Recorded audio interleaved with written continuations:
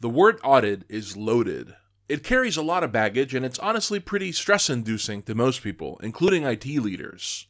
Yes, the concept of a software audit may give you some anxiety, but we found that they're fairly misunderstood. There's a few different types of software audits, and they can be an essential part of your IT asset management practice. So let's talk about software audits and how to make sure you're prepared for your next one.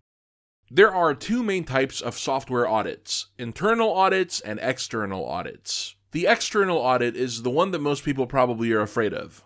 It's a process where vendors assess whether the organization is using their software in the agreed upon way. These processes generally take place every one to three years depending on the vendor. Software compliance, codified in a license agreement, should adhere to the strict parameters within said license. In other words, it's a set of rules for software usage. Plus, licenses have an expiration date as well, so vendors are also making sure you're not trying to slip an expired license by them. Now, in order to keep a close eye on your software licenses, it makes sense to use an IT asset management tool, such as InvGate Insight, which allows you to keep an eye on your software asset infrastructure. That's what we call an internal audit running reports and keeping tabs on your own licenses, making sure that when it's time for the dreaded external audit, you can rest easy knowing you're in full compliance. So, how do we prepare for an external software audit? Well, here we have four key steps you can take to make sure you've done your due diligence with regards to compliance and software management. Number one, conduct an internal audit. As we've mentioned, proactivity is extremely useful and it'll save you money, time, and effort. This proactive approach allows companies to tackle compliance issues as soon as they appear, and to be prepared for the external audits. Thus, you will not be freaking out when the time comes. Software asset management expert Aaron Davenport gave some great advice on episode 6 of our tech podcast, Ticket Volume, that can be applied if you conduct regular internal software audits. To navigate it, the first thing you do is you say, okay, is this something I should be concerned about?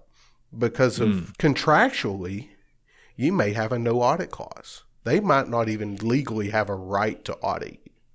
So you might want to read real quick before you make that quick response of, hey, uh oh, I got an audit letter. That's what they want you to do. They want you to get scared. Mm-hmm. So my first thing is to say, don't panic. You may owe them money, you may not owe them money, but they don't know as much about your environment as you do. So get your facts straight.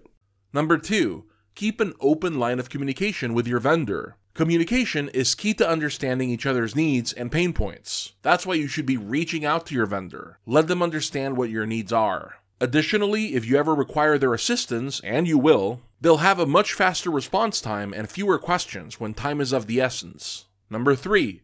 Partner up.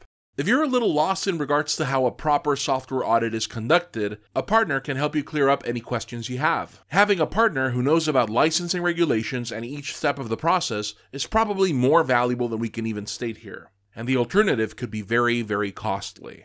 And finally, number four, use a software asset management tool.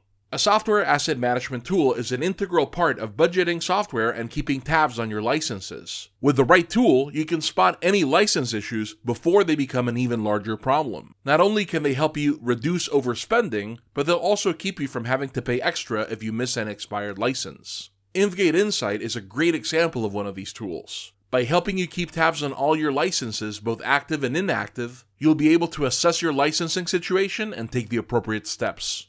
Plus, it'll give you a complete bird's eye view of all your IT assets, making it an invaluable resource not only for compliance, but also your IT asset management practice in general. Software audits can be scary, but they're part of the life of any IT organization. That means you have to be ready when the time comes. It's not about keeping auditors happy, but about making constant checks for errors or structural weaknesses. And it's not something you should be doing just because you're legally obligated to. It's part of playing the game in a smart, sustainable way. So embrace the audits.